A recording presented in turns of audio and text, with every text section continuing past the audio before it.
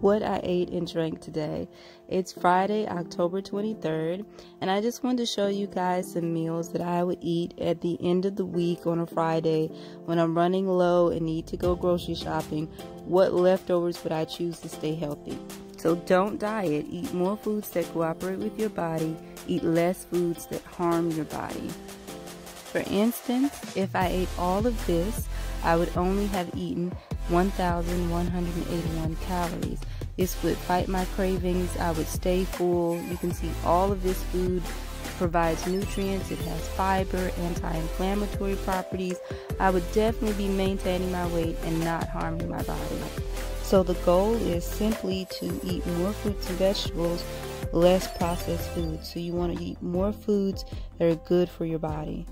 Now let's talk about some of the things that I ate today.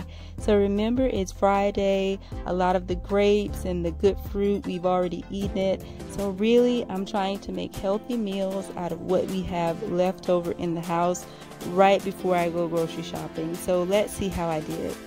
This is my first meal of the day. It's 9:20 a.m. I'm having carrots, okra from the garden, purple onions, bell pepper from the garden, and cabbage.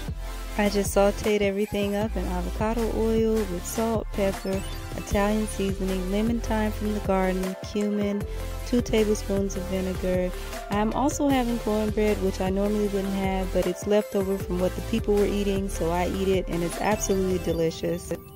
Meantime, I drink water whenever I feel thirsty.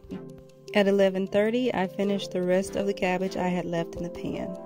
Now it's 3 p.m., the hungriest part of the day for me, and I'm going to make some juice. I'm using kale, pineapple, celery, carrots, apples, and ginger. So these are some of the things that I have left over from the week, and I'm going to make me a delicious juice that's very filling. I wouldn't lie to you, this juice is really good. I had some juice that I made in the kale video that didn't turn out that great because I used bell peppers and I let you know in the video it's nothing to phone home about. It's not that great, but it's alright. This juice though, it's really, really good, really filling, and so I enjoy drinking this type of juice. I enjoy getting the nutrients and minerals from the juice. It has pineapples in it that adds that sweetness. It has the apples that add a sweetness to it that makes it taste delicious. This juice has a lot of fruits and vegetables in it. It's very filling, so I knew I wouldn't be able to drink it all. So I drank half of it and I put the rest in the refrigerator. It's 4.30, I came back for the other half of the juice and I decided to also take a shot of tequila. I noticed I'm not overdosing on the tequila, I'm just taking one shot and this is going to help with digestion and good bacteria in my belly. It's really harsh, so I'm washing it down with fruits and vegetable juice. Now it's 6 p.m. and I'm sauteing some vegetables to go on top of two large potatoes. This was so delicious while eating it, I realized that I was not chewing my food.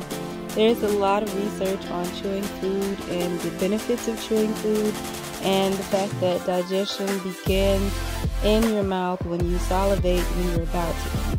So I realized that I wasn't chewing. I settled down a bit. I started taking smaller bites so that I can enjoy my meal more. And I suggest that to everyone. Remember to chew your food. Sometimes when it's really good, it's hard, but you gotta do it. This was my last meal of the day, but I want to talk about what I would typically eat. Typically, I would have more access to more fruit varieties at the beginning of the week, but I think I did okay. Thanks for watching. Check out some of my other videos if you like this one.